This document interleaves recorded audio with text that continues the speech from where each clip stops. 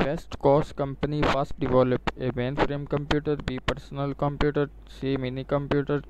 D both A and B इसका जवाब है बी पर्सनल कंप्यूटर